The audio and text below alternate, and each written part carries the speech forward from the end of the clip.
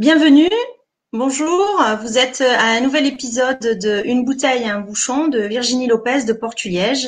Euh, je suis fournisseur de bouchons de liège bio et de bouchons à tête. Vous êtes dans une série de Facebook Live pour découvrir un vin ou un spiritueux à travers son bouchon. Aujourd'hui, nous allons découvrir à travers son bouchon la distillerie Baptiste créée par Baptiste François, qui est à Saint-Étienne-de-Chaumet dans le Cantal et euh, qui est une distillerie euh, de liol de, de naturel, pardon. Et donc euh, Baptiste produit du whisky, du chouchou qui est un, une eau de vie, enfin il nous expliquera un peu mieux à base de saké, du rhum, de l'eau de vie de vin et de l'eau de vie de bière. Voilà. Donc aujourd'hui, il va nous présenter euh, son whisky et d'autres produits de sa gamme.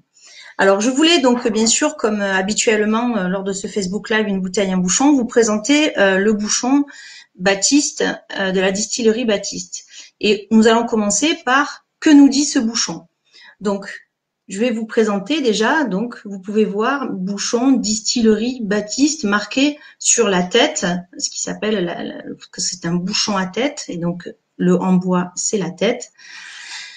Ce marquage est fait au laser, qui permet une finition, euh, de faire des choses très finies, d'ajuster la profondeur du marquage euh, et de faire vraiment des choses euh, parfaitement à l'identique de la maquette originale.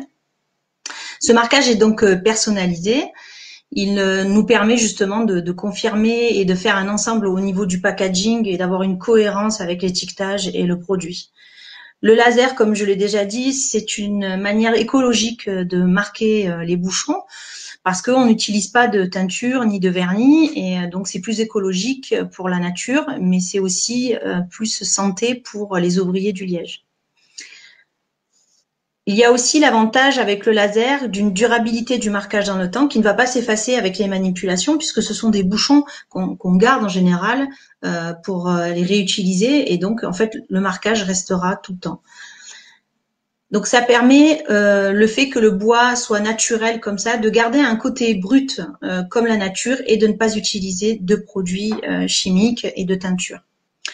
Le liège. Le liège, vous pouvez le boire, le voir, pardon, pas encore le boire, c'est ce qui vient après. Vous pouvez voir que le liège, il est euh, en nature, naturel. C'est pas un aggloméré parce que je vais vous en parler après. Et je ne sais pas si vous le voyez bien à la caméra, mais ce liège, il est plus foncé que ce qu'on utilise habituellement. Et pour cause, c'est un liège en naturel euh, extra bio. Et ce bio, euh, je vais vous en parler. Qu'est-ce que nous permet euh, l'utilisation du liège bio a plusieurs avantages? C'est qu'il n'a pas de désinfection chimique à base de peroxyde qui blanchit. Donc euh, déjà, il n'y a pas d'utilisation de chimie pour les ouvriers. Et donc du coup, nous permet de garder la couleur originelle du liège, qui est cette couleur un peu marron orangé, très nature, très bois. Euh, voilà. Le choix d'un liège naturel bio extra, donc là nous avons les dimensions, c'est 27 mm, donc c'est la hauteur 19,8 de largeur, donc il faut parfaitement adapter à la bouteille pour pouvoir être étanche. Le liège naturel résiste aux alcools forts et euh, le liège aggloméré aussi, mais pas tous les lièges peuvent être utilisés dans, euh, dans les alcools forts. Et le liège naturel brut comme celui qu'a choisi Baptiste Extra est particulièrement indiqué pour l'utilisation des alcools forts même pour les alcools transparents, parce qu'il n'y a pas de transfert euh, de la couleur du liège vers les alcools transparents, parce que euh, le procédé utilisé pour ce liège utilise trois heures de lavage, donc enlève tous les tanins qui peuvent colorer, et il n'y a pas les peroxydes non plus, qui avec le temps euh, peuvent colorer le, un alcool comme une eau de vie ou un gin. Donc je vous disais que Baptiste avait choisi d'utiliser un liège naturel extra. Ce liège naturel extra, il, euh, il a euh, la particularité d'être un liège haut de gamme. Parce que nous verrons, je vous en parlerai au fur et à mesure des futurs Facebook Live, il y a énormément de gamme dans le liège. Et dans euh, le top du liège, il y a l'extra, il y a la fleur. Et l'extra fait partie vraiment des meilleurs lièges et de la meilleure qualité. Il existe en effet donc le liège fleur, le liège extra, le liège super, le premier choix et le deuxième choix. Pour vous montrer la différence entre un liège extra et un liège deuxième choix, vous pouvez le voir peut-être à la caméra. On peut voir que le liège qui est à côté, celui-ci, présente plus de trous, de lenticelles. D'accord? Ce qui, c'est ce qui permet de faire une différence en fait entre le liège extra. Qu'est-ce que ça apporte?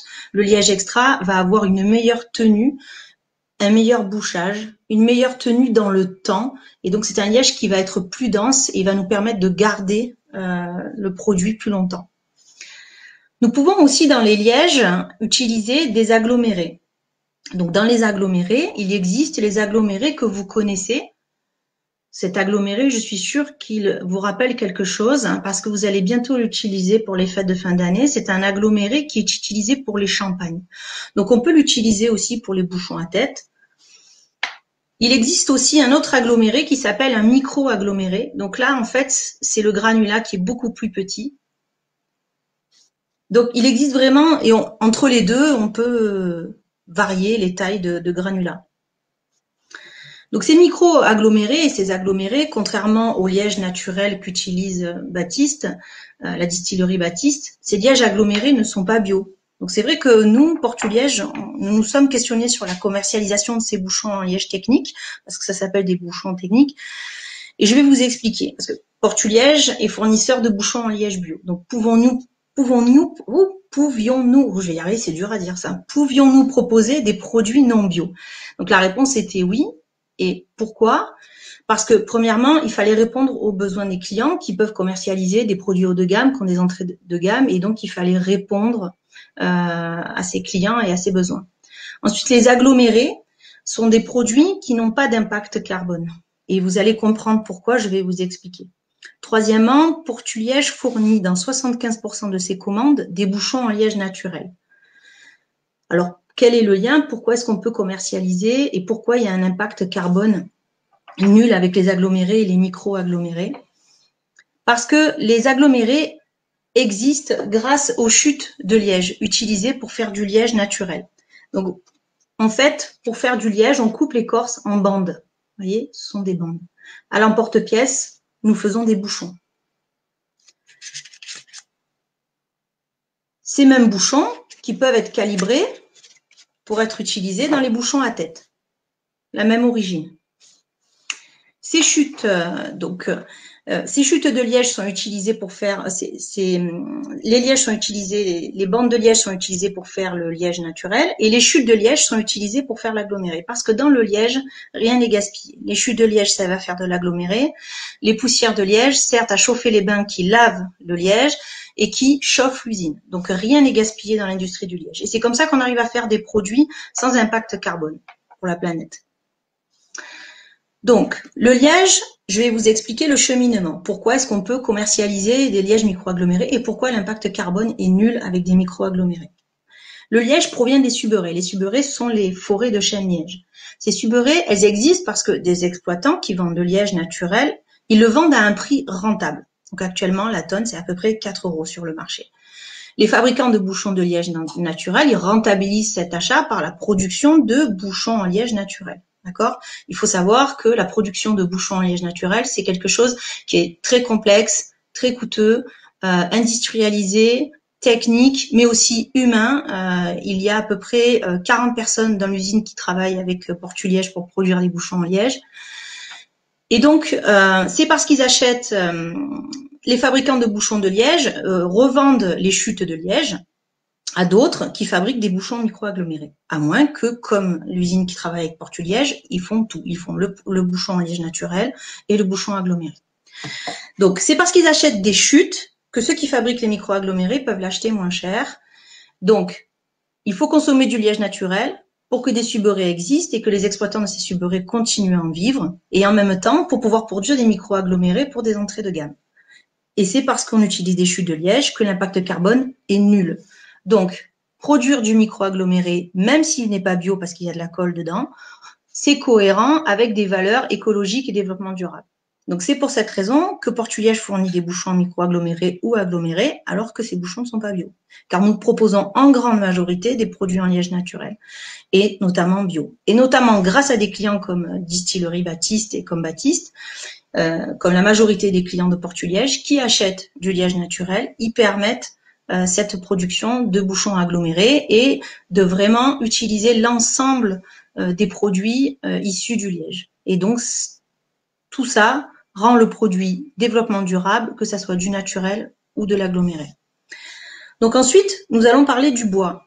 Le bois, je vous en parlerai dans un autre Facebook Live. Ce bois, il est en hêtre et il se trouve que nous travaillons avec une usine qui achète le bois en France. Donc c'est de l'être français.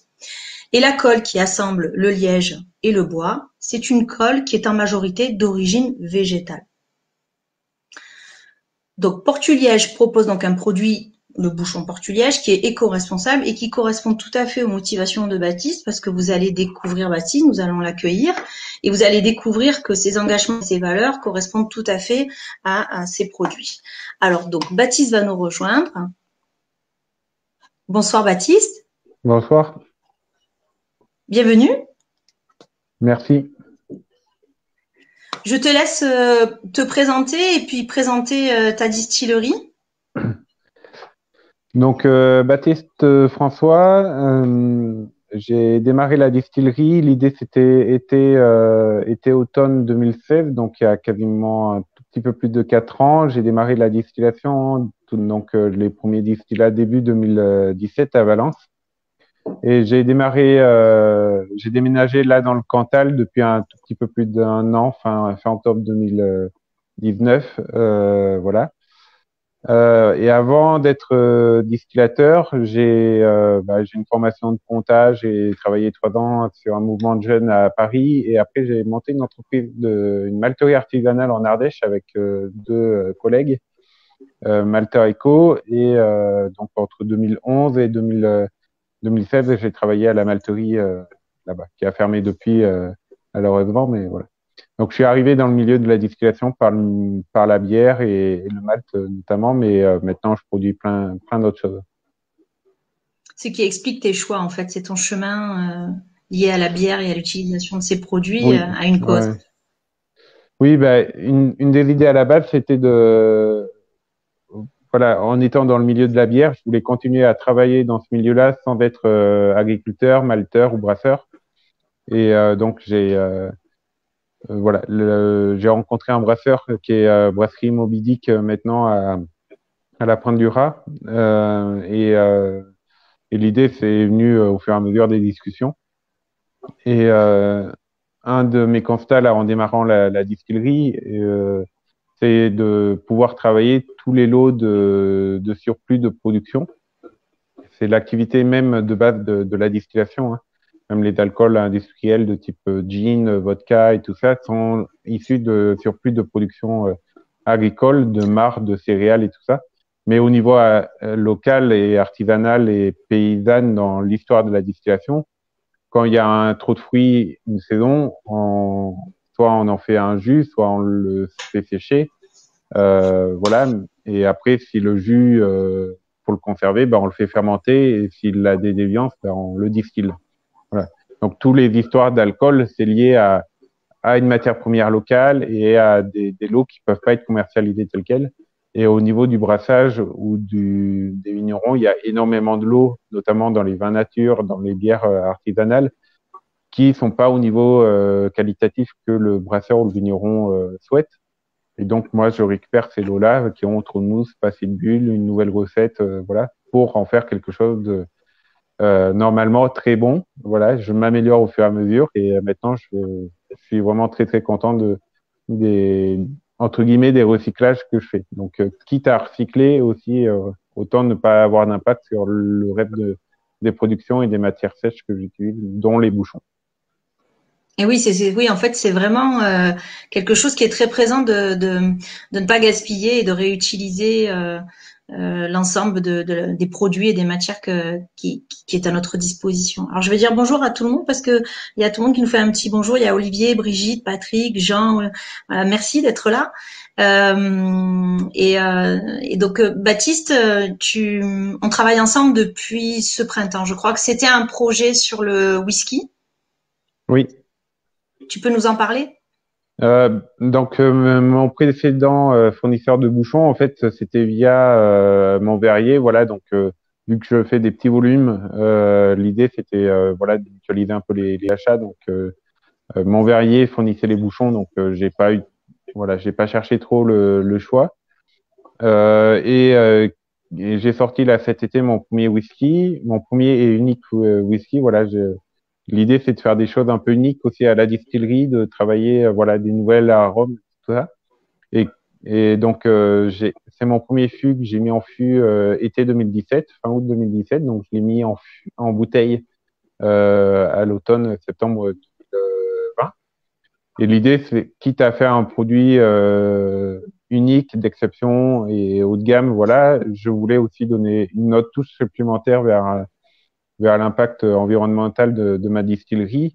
Et euh, voilà, j'ai eu l'occasion euh, via un autre copain distillateur, euh, donc euh, David, que tu as interviewé il y a pas longtemps, de, de la marque Alcool Vivant.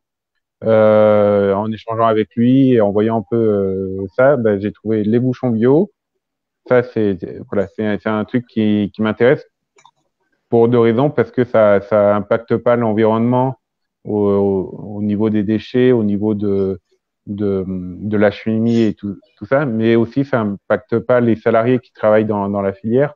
Ça, c'est quelque chose que je trouve super important au niveau de la distillation, c'est que ça reste une matière première agricole. Donc euh, voilà, euh, tout ce qu'on met dans la nature, ben, on va le retrouver quelque part, euh, soit dans le corps, soit sur les mains des ou dans le corps des, des ouvriers ou dans notre corps parce qu'on aura bien quelque chose de sale s'il y a de la chimie. Et euh, voilà. moi, j'ai pas envie de ça. Et euh, quitte à faire quelque chose de bien, autant faire profiter aussi euh, tous les artisans et tous les consommateurs de, de mes bouteilles. D'ailleurs, tu es très engagé dans tout ce qui est euh, naturel. Enfin, tu m'expliquais que tu avais été un des cofondateurs d'une charte, mm. c'est ça, sur ouais. Euh, les gnôles naturels. Tu peux nous en parler? C'est intéressant parce que votre site, j'en parlerai un peu plus tard de, du site de la distillerie, mais nous renvoie à, à, à cette charte. De quoi ouais. il s'agit? euh, Donc, euh, c'était au euh, bah, décembre 2018, il y, a, deux ans maintenant, ouais, quasiment jour pour jour. On a lancé à Paris avec, euh, bah, on était trois au début pour la signature, donc il y avait euh, David d'Alcool Vivant, euh, il y avait Martial et euh, Teresa de l'atelier du Bouilleur à Béziers, et, voilà, on a rédigé ce manifeste-là un peu à, trois au démarrage, mais très vite on a trouvé d'autres distillateurs qui, nous ont rejoints dans, l'écriture de ça et la participation de, ce manifeste. L'idée, c'est de, raconter un peu l'histoire euh, de la distillation et de rappeler que c'est un produit agricole. On, l'oublie trop souvent. Euh, J'étais en formation là, ce week-end euh, et euh, au niveau règlement européen, la, les spiritueux, c'est une sous-catégorie des, de l'alcool éthylique, donc de l'alcool, donc des produits chimiques. Alors que tout le reste de l'agroalimentaire, c'est un, c'est dans les classes de d'aliments, voilà.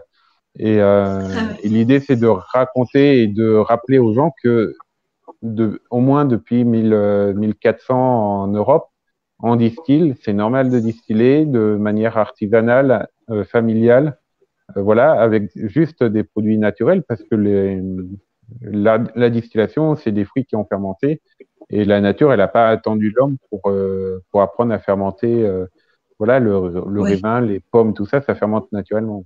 Donc, on n'a pas besoin de, dans nos activités, euh, d'utiliser de la chimie dans les champs, pas besoin d'utiliser de la chimie à la distillation. Il y a énormément de distilleries qui utilisent des, des acidifiants, des levures, de, voilà, du colorant dans les bouteilles.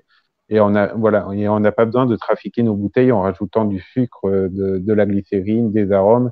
Si c'est bien distillé, voilà, la nature fait bien les choses et, euh, donc l'idée, c'est de raconter un peu tout ça sur le manifeste de l'agneau naturel. Donc le, le site internet, bah, tu, tu, le mettras, mais c'est niolnaturel.eu. Et euh, pareil, moi oui. j'aime bien ce, ce mot-là, niol, c'est un peu provocateur par rapport à tout le milieu de, de la distillerie, euh, des craft spirits, voilà, du monde où il faut parler anglais, proposer un alcool ambré, euh, voilà, un milieu un peu bling bling. Euh, L'eau de vie, la goutte, l'agnole, ça peut être quelque chose de très euh, de très bon et il faut promouvoir ce, mot-là qui est un très bon mot en plus. Je, vais, je vais justement mettre la charte et le site dont tu viens de parler en commentaire.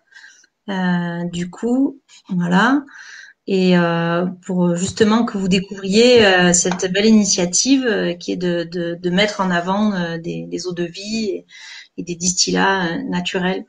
Donc, et donc là, avec toi, tu as tu as deux bouteilles au moins. Tu as le whisky, mm. si tu peux nous la présenter, et puis tu as aussi le distillat de bière, parce que c'est pas courant quand même. Non, ouais, le distillat de bière, il est un peu plus loin dans, dans ma gamme, et je peux le montrer aussi. Euh. Donc là, a... en fait, tu avais le rhum avec toi, oui, c'est ouais, ça. Là, là j'ai pris le rhum.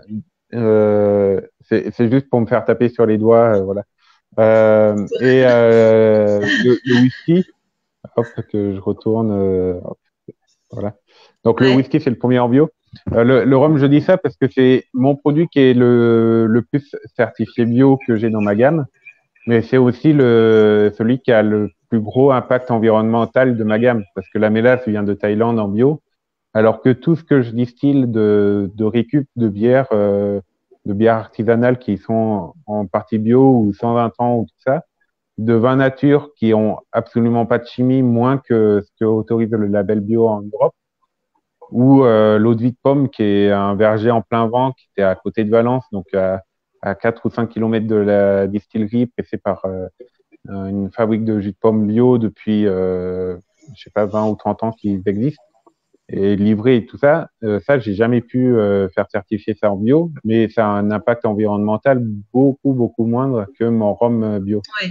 Donc ouais. euh, l'idée c'est aussi au niveau de la, la, distillerie de voilà de raconter des choses, de d'échanger, de discuter et euh, voilà mon rhum c'est le plus bio, mais c'est le moins c'est le moins propre, on va dire, écologiquement. Euh, voilà. Et du coup, l'idée, c'est vraiment d'arriver sur des productions euh, saines euh, et locales. Et si un jour je peux arrêter de faire de rhum, même s'il est très bon, je, je, le ferai. Ouais. L'idée, c'est qu'il y a le bio, mais il y a aussi l'impact carbone ou la consommation locale. Ce sont des choses différentes. Et c'est pas parce que un produit n'est pas labellisé bio qu'il n'est pas déjà naturelle et qui n'a pas un impact carbone minimum. Ce sont deux choses différentes. Tu as raison de le préciser parce que c'est vrai que, bon, en fait, le label bio, c'est facile à reconnaître en réalité. Donc, euh, ça permet aux gens de, de vite identifier euh, euh, le produit, enfin, en tout cas, le fait qu'il n'y a pas de pesticides à l'intérieur, surtout. Et c'est vrai qu'après, euh, des labels sur le local ou, euh, ou sur l'impact carbone, euh, ils, ils existent peu ou en tout cas ils sont peu connus du grand public. Donc c'est bien, il faut le préciser, il faut avoir ces arguments à côté. Et puis pour ça, il faut acheter local parce qu'il faut rencontrer le distillateur ou le vigneron et discuter avec avec elle ou avec lui sur euh, le produit et voilà c'est ce qui est intéressant. Et d'ailleurs euh, l'idée c'est je vais te couper l'idée c'est aussi d'avoir le, moins d'impact environnemental et voilà et de faire les choses le, plus propre. Euh, voilà on sait de toute manière que depuis qu'on est on consomme on, voilà on a un impact. Donc quitte à, à réduire ça autant faire les choses propres. Si on n'a pas des choses en vraiment extrêmement propre, ben, on choisit du bio ou sinon du local. Voilà.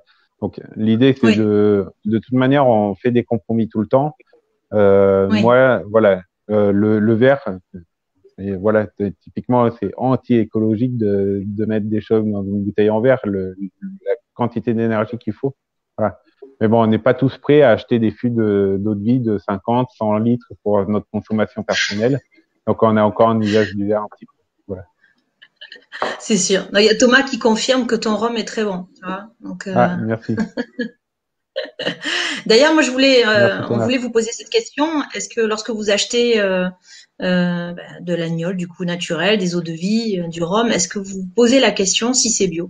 Est-ce que c'est un achat? Est-ce que qui, qui vous que vous réfléchissez avant. Alors je vais dire maintenant le public de Portulier, je commence un peu à se poser la question parce que c'est des sujets qu'on a déjà abordés, notamment avec euh, avec Alcool Vivant et David Mimoun, mais pas que. Et euh, voilà, est-ce que vous vous posez la question sur l'origine bio ou sur l'impact environnemental? Voilà, ça peut être intéressant de, de savoir un petit peu. Et puis, et aussi, bah, est-ce que maintenant vous allez vous poser la question? Alors, vous pouvez répondre, même pour les replays. Je regarde les réponses de toute façon, et c'est intéressant. Je les transmets à Baptiste, donc euh, c'est bien pour euh, pour évoluer dans notre pratique euh, professionnelle. Donc Mireille nous dit oui, je me pose la question. Donc elle se pose la question. Je sais que c'est Mireille avait déjà participé avec Alcool Vivant et je ça la, conversation avec David avait relever différents aspects comme euh, l'origine du sable pour le verre, etc. Donc, euh, au fur et à mesure, en fait, le public de Portuliège est de plus en plus sensibilisé à toutes ces questions. Et c'est bien, c'est l'objectif, c'est de vous connaître, de connaître les clients, de connaître les, les, clients de Portuliège et de connaître vos valeurs et de se poser des questions pour aussi avancer tous ensemble dans notre consommation, dans cette idée de consommateur.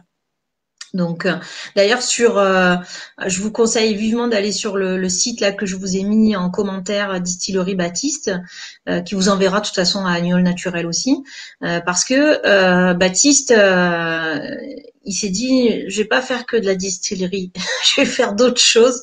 Et donc, il fait plein de choses, euh, bon, en lien avec la distillerie, bien sûr, mais euh, il, y a, une newsletter, il y a un blog, euh, il y a le manifeste dont tu nous as parlé, il y a des stages. Alors, en quoi consistent ces stages, en fait? D'ailleurs, tu viens d'en finir un et tu as enchaîné avec le Facebook Live. Ouais, ouais. Bon, c'était un stage professionnel parce que voilà, il y a, confinement, voilà, il fallait pas être trop nombreux et, compagnie, mais le, il y a un renouveau d'intérêt sur le monde de la distillation artisanale. Euh, voilà, il y a notamment euh, Mathieu Frécon euh, qui a qui distille depuis, euh, je vais dire des bêtises, mais au moins 15 ou 20 ans. voilà, qui a fait un, livre sur la sur l'alambic, très intéressant, qui est une très bonne base contemporaine pour euh, apprendre ou réapprendre ou connaître ou découvrir le milieu, de la distillation. Et donc lui et Martial Berthaud, qui est de, l'atelier du bouilleur, l'idée c'est d'organiser des stages à la distillerie. Donc sur mon site internet, il y a, une partie visite, stage, voilà. Donc on en a calé quelques-uns pour l'an prochain. Donc, euh, sur des formats de deux ou trois jours, l'idée c'est d'apprendre que c'est qu'un alambic, euh, la réglementation autour, le, ce que c'est que la fermentation, comment on fait fermenter les fruits, voilà, et des approches sur les, les eaux de vie voilà, les différents types d'eau de vie via une dégustation, via euh, des échanges, et euh, après avec des approches sur les autres types de distillation, parce que ce qu'ils aiment bien raconter, c'est que euh, dans un village euh, normal de euh, d'il y a 50 ans encore, il y avait trois lieux qui étaient importants sur le village pour faire vivre le village. C'était le, le bar, où il y a l'alcool de convivialité. Donc, euh, quand je dis alcool, euh, c'est pas que les spiritueux, hein, c'est tous les alcools. Donc, où il y a l'alcool de, de, de, convivialité, où il y a la pharmacie, le, le lieu où il y a l'alcool de médicaments, de soins, et où il y a l'église, l'alcool spirituel, euh, voilà, qui nous permet de, de, de croire un, un monde meilleur, voilà, de se projeter un peu au-delà. Et donc le, les stages, voilà, ça, ça, fait un lien, notamment sur le stage de, de Mathieu Frécon, entre ces trois dimensions de, de l'alcool. Voilà, on, on aborde l'alcool euh, euh, de, de, de, convivialité, de spiritueux, de dégustation, et euh, où on parle un peu de huile essentielle, de, de, distillation euh, de plantes, et où on va aussi à, à créer des, des médicaments, entre guillemets des médicaments, des remèdes ou des, des choses qui existent en fait depuis la, la nuit des temps, euh, mais où on oublie aussi que euh, voilà, il y a, y a tout un art et un artisanat euh, euh, autour de ça. Et donc euh, l'idée c'est euh, voilà, oui, vas-y. Non non vas-y, l'idée c'est de, excuse-moi. Bah, voilà, c'est de passer deux jours à, à, discuter, à découvrir ce milieu-là, même si actuellement c'est interdit d'avoir son alambic à titre amateur chez soi et de distiller chez soi. Euh, voilà, il y a des moyens de soit de distiller dans des ateliers publics pour des particuliers ou des distillateurs ambulants, ou des professionnels, il y a le droit de, de créer des distilleries. Et euh, voilà, il y a un boom qui va venir au fur et à mesure là, de création des distilleries. Donc l'idée, c'est de, de travailler avec tout ça pour, euh, pour distiller de bonnes choses et des choses les plus saines possibles. Oui. Et d'ailleurs, donc tu fais ces, ces, ces, stages dont tu viens de parler, bon des conférences aussi. on peut visiter aussi la distillerie, mm. qui donc qui est dans le Cantal. Mais si je me trompe pas, on peut aussi passer des vacances à la distillerie. Oui, ben la, la, maison est grande, donc voilà, il y a, y a quelques chambres euh, voilà, pour passer euh, une journée, une nuit ou, euh, ou un peu plus, voilà, en fonction des disponibilités de, du groupe ou tout ça, parce que le, voilà, il y a 12, 12 couchages, donc c'est, voilà, il y a, il y a une, ouais, un de la place. aussi avec, et, et l'idée, c'est aussi, de, les artistes. Hmm. Donc, voilà, le, la distillation, il y a un côté euh, art et moi, personnellement, je, je, suis sensible à ça, à la création, à la transformation de la matière dans la distillation. Et euh, l'idée, c'est, voilà, quitte à avoir euh, une douzaine de chambres à la maison, autant, euh, autant faire vivre ce lieu. On a le droit de faire des, des activités un peu particulières euh, aussi en rural. L'art, la culture, euh, bien manger, bien boire avoir de la convivialité. On n'est pas obligé d'être en ville pour ça. Donc euh, l'idée c'est voilà de d'ouvrir la distillerie à, à, tout type de personnes qui veulent euh, soit être en résidence d'artiste une semaine ou deux, soit passer des vacances, soit juste visiter, soit rien faire. Voilà pourquoi pas, euh, c'est aussi possible. C'est ça sera compliqué mais euh, voilà. Donc euh, voilà, bien, bienvenue ici et, et quitte à voilà moi personnellement, j'ai, je déteste faire du démarchage. Typiquement, voilà, aller faire faire des salons, c'est bien, mais aller démarcher des des, des cavistes, des restaurants, euh, voilà, ça, m'aiderait à mieux vivre. Mais c'est un truc que j'aime pas du tout. Donc, euh, pour euh, pour vendre, pour vivre un peu, ben, l'idée, j'ai renversé le truc et, et, je préfère accueillir les gens chez moi, voilà, et à échanger sur le milieu. et parce que mes mes autres vies et ma manière de de produire, dès qu'il y a une visite, c'est au moins trois quarts d'heure pour, euh, pour raconter tout, pour que les, les, les personnes euh, comprennent que euh, cette eau de vie-là, elle n'a pas le goût qu'on a l'habitude. et on a le droit d'avoir des spiritueux qui qui sentent pas le feu, qui goûtent pas le sucre. Voilà, il y a, il y a tellement d'aromatiques différentes dans les spiritueux que voilà, faut prendre le temps de, de discuter de ça avec les gens. Ouais. D'ailleurs, si vous voulez les, les découvrir, euh, il y a une boutique en ligne sur euh, Distillerie Baptiste. Et puis, euh, je mettrai aussi en lien, tu as un, un, site internet, un regroupement collectif de, de distilleries aussi. Donc, euh, je, je, le mettrai, je vais essayer de le, de, de, le trouver et je vais, enfin, c'est parce que c'est dur de faire le live et en même temps chercher, mais, mais du coup, je, je vais le mettre en commentaire. Et, Donc, le, le site le site en commun, euh, ça s'appelle Goutte à Goût. Voilà. C'est un site monté avec donc Martial et Teresa de l'atelier du bouilleur qui sont à Béziers et euh, de Julia de la distillerie euh, Cœur de Cuivre qui est à, à Vauvert à côté de Nîmes. et, et, nous trois, on, donc on fait partie des, du manifeste des Nioles naturels, donc on travaille de la même manière, sans intrants, sans en chimie. Euh, il y a une partie de la gamme certifiée en bio, mais d'autres, voilà, il n'y a pas de possibilité de certification parce que le, notre fournisseur n'est pas, pas certifié, mais voilà, c'est, ça reste euh, très propre. Et euh, voilà, donc le site c'est Goutte à Goût, c'est un nom de groupement et ça permet aussi euh, aux cavistes, aux restaurants de mutualiser les achats, de panacher, de s'offrir une gamme de spiritueux euh, de, de, très bonne qualité euh, panaché à partir de six bouteilles. Voilà. Pour les particuliers, il y a, il y a moyen de commander et il y a une petite remise à l'heure actuelle, là, juste euh, avant les fêtes, euh, avec un petit code promo. Euh, voilà, c'est tout simple, c'est livraison 7. Voilà, et ça vous permet d'avoir une petite remise de 7 euros sur les, les frais de port. Tu disais comment ça s'appelle Livraison 7 Ouais, tout attaché en minuscule. Le chiffre avec 7. le chiffre, ouais. Pour, ceux qui, ont encore des cadeaux à faire euh, d'ici le d'ici Noël, pour eux ou pour les autres. Voilà, donc du coup j'ai mis le lien euh, goutte à goutte et, euh, livraison 7, le code de la promotion.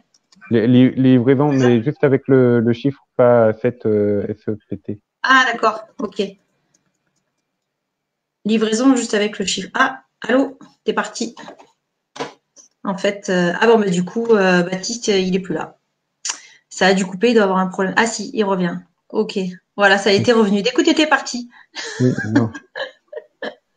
c'est les aléas du direct. ouais, oui. Non, c'est bon. Tu me disais, c'était quoi euh, Livraison 7 Non, c'est pas ça, c'est euh, Oui, c'est 7 euh, avec le, chiffre, pas SET. E ah, ok, d'accord. sinon, j'en crée un autre. Hein, mais... Non, non, c'est bon. Livraison 7. Voilà, pour avoir une remise sur le site goutte à goutte, c'est ça? Ouais. Voilà. Euh, donc, euh, du coup, pour répondre à la question tout à l'heure, est-ce qu'on regarde, est-ce qu'on s'intéresse à l'origine naturelle ou bio? Il y a Brigitte euh, qui, qui, nous dit que dorénavant, elle y fera attention parce qu'elle vient d'obtenir la certification HVO, HVE, pardon, euh, c'est haute valeur environnementale. Et Brigitte, je connais Brigitte, c'est une vigneronne de Corse du domaine Suléon que je vous conseille aussi, qui fait un vin très très bon que j'ai rencontré dans les salons qui malheureusement cette année ont été annulés et, euh, et voilà, vous encourage à aller voir euh, le domaine de Suléon, S-U-L-E-O-N-E, e, euh, et, euh, et, de rencontrer l'histoire de, de, Brigitte. Voilà. Et alors du coup, il y a Sylvie qui demande est-ce que vous avez mis au goût du jour absinthe dans le Cantal? Merci. Alors est-ce que, tu sais Est-ce que tu as mis au goût du jour l'absinthe dans le Cantal? Euh... C'est Sylvie de Castin. Tu la connais euh, peut-être? Non, euh, je ne connais pas. Euh, comment dire Oui et non. bientôt. Il y, a, ah. il y, a, une production en cours d'absinthe à la distillerie, mais qui goûte un tout petit peu, un, un, petit peu plus à. Voilà, c'est en cours. J'ai distillé ça il y a, il y a peut-être un mois maintenant. Donc voilà, il y a, ça, ça sortira bientôt, mais euh, voilà, je suis très friand de la mer, donc euh, absinthe et gentiane, il y en aura, mais pas en version euh, euh liqueur de type Avez ou Five. Voilà, ça sera sous un autre format, mais mais voilà, il y a il y a plein de nouveautés au fur et à mesure qui, qui arriveront. Voilà. Bon, pour l'instant, j'évite. Est-ce bah, que je le laisse à 80 degrés ou est-ce que je le réduis un petit peu? Mais parce qu'à 80 degrés, il est très très bon. En fait, c'est voilà, c'est une de mes particularités. Si ça ne tenait qu'à moi, je vendrais que les alcools en brut de, de distillation parce que euh, la manière dont, dont, je distille fait que l'alcool est rond et euh, l'anisé à 80 degrés, il, voilà, il peut se boire tel quel, mais il peut être allongé totalement comme un, un Ricard pour prendre un exemple que tout le monde connaît. Euh, voilà. Et les aromatiques qui à 80, à 70, à 50, à 40 ou à 5 degrés sont très différentes. Donc euh, voilà, l'idée c'est d'accompagner les gens dans dans leur découverte des manières de, de consommer, euh, voilà, des anidés à l'eau, des fines à l'eau, euh, voilà, qui, qui étaient les, habitudes de consommation depuis longtemps euh, en France. Donc, faut venir goûter et peut-être qu'il y aura un échantillon. ouais. C'était une bonne question qu'a posée Sylvie et donc qui est de Marty en fait, donc il te connaît pas mais qui vient de me répondre. Bon bah écoutez, c'est passionnant. C'est parce qu'elle a une référence de d'une bouteille ou d'une recette d'absinthe du Cantal? Ah, Parce que dans ce cas-là, je, je, suis preneur de, de l'info. Elle viendra, elle a dit.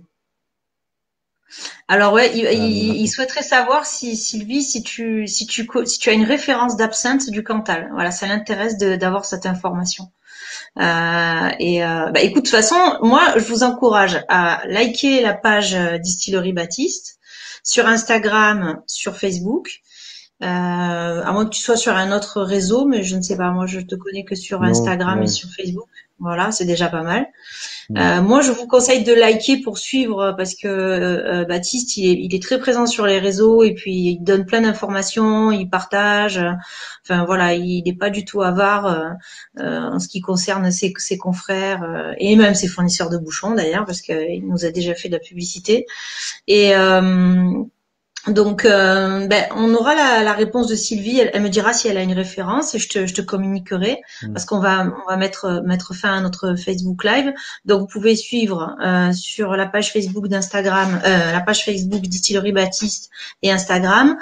Euh, idem pour Portuyège. Vous pouvez nous retrouver sur LinkedIn, Instagram, Facebook et maintenant j'ai une chaîne YouTube avec toutes les, euh, les épisodes depuis le début de Une bouteille, un bouchon. Donc, c'est Virginie de Portuyège, la page Facebook. je vous le mets en commentaire. Euh, un site internet, bien sûr, donc euh, pour Distillerie Baptiste ainsi que pour Portuliège. Alors, s'il vous plaît, ben, partagez euh, cette vidéo, partagez-la un maximum, encouragez votre réseau à la partager. Ça fait connaître des gens de valeur, des personnes de valeur comme Baptiste et et, et, de les faire travailler, donc de perpétuer ces engagements. Donc voilà, n'hésitez pas. Je vous souhaite de très bonnes fêtes, un bon boudin comme on dit ici. Oui? Tu voulais dire quelque chose? Voilà, il y a les fêtes, on va cuisiner, on va faire de la pâtisserie et euh, il y a, y a, on va voir un peu de monde. Et euh, ce que j'incite euh, les gens, c'est vraiment nos spiritueux de la gamme de goût à goût. Il y en a au moins une, les trois quarts qui sont vraiment à consommer en cocktail. Et on doit les boire secs, voilà, tel que tel quel, rallonger un petit peu à l'eau. En cocktail, il y en a des très simples à faire avec nos, nos autres vies, mais surtout, faut, je vous ai présenté mon rhum tout à l'heure, mais il faut absolument les utiliser en cuisine, en pâtisserie. C'est absolument pas du gâchis, ça donne des aromatiques très différentes par rapport à ce qu'on a l'habitude. Et euh, vous reviendrez pas en arrière euh, derrière. C'est sûr que là, du, du, rhum flambé ou de la pâte à crêpes avec le rhum, euh, voilà, vous pouvez pas ah faire euh, demi-tour derrière. Je, je confirme. Faut vraiment en, en, user et en abuser ah oui, c'est fabuleux, c'est fabuleux. Dans la pâte à crêpes, dans les gâteaux, dans les gaufres. Enfin bon, moi je, mmh. euh, je, ça, je, ça fait déjà un moment. Euh, Domaine Coste Caseron, oui, la cuvée Suléon. Je me suis trompée. C'est, excuse-moi euh, Brigitte, c'est Domaine Coste Caseron. Mais du coup, elle a mis euh, la référence. Je sais pas pourquoi j'ai dit Domaine Suléon. C'est, c'est une cuvée assez connue de, de sa, de, de son de ces de ces vins. Excusez-moi Brigitte, domaine Coste Caseron. Mais euh, oui, en effet, euh, le, la pâtisserie avec euh, Rome et pas que d'ailleurs, mais c'est formidable, formidable. Bah écoute, merci Baptiste. moi, je vous encourage vraiment à suivre Baptiste et Distillerie Baptiste sur les réseaux. Il nous donnera des conseils de cuisine. Alors du coup, ce que tu, tu vas pâtisser à la fin de l'année, je vais voir ça moi. Le petit frère, c'est le petit frère ah, fait ça. Oui, c'est vrai que tu as un frère qui est restaurateur dans le Cantal, dans ton village, n'est-ce pas?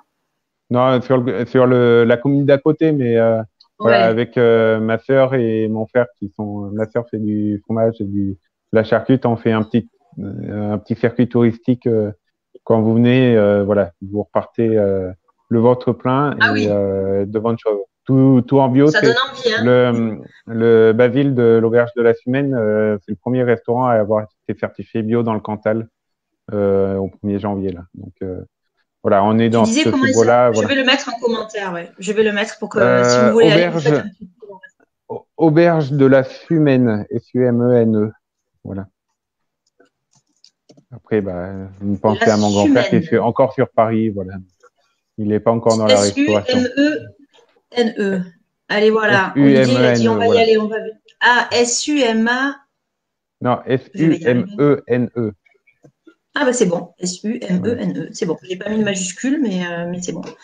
Je l'ai bien mis. On va y aller, oui. Euh, Olivier a dit on va y aller. Donc euh, tu vas avoir du monde qui va venir là.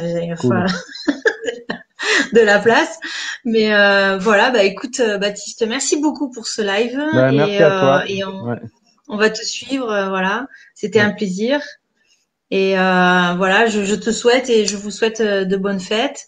On se retrouve euh, le lundi 4 janvier. Donc euh, là, pendant, on va, on va faire une petite pause pour les vacances. Et euh, on se retrouve le lundi 4 janvier pour un nouvel épisode de Une bouteille et un bouchon. Portez-vous bien à tous. Merci d'avoir été là si nombreux ce soir.